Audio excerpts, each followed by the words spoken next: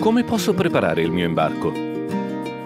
Cliccate sull'email di registrazione che riceverete prima della partenza ed effettuate il check-in online. Oppure andate su corsicaferris.com. Dopo aver inserito gli estremi dei documenti di identità per ogni passeggero, verificate con precisione e indicate le dimensioni del vostro veicolo, includendo l'ingombro di eventuali accessori.